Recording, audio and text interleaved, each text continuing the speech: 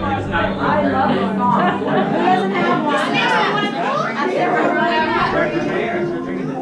you might like it now, Kelsey. I know. It's a good one. Be better. Be better.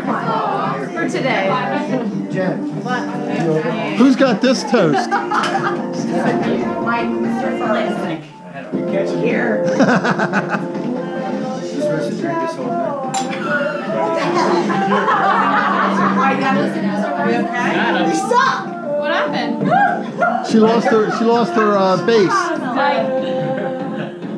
I would ask everybody to raise your glass.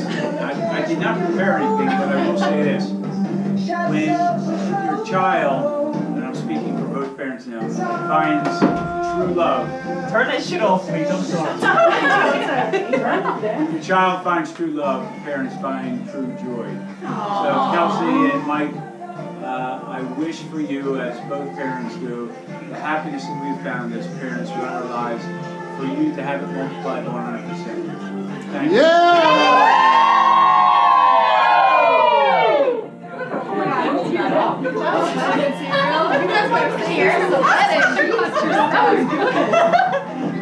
You can't outdo this her name.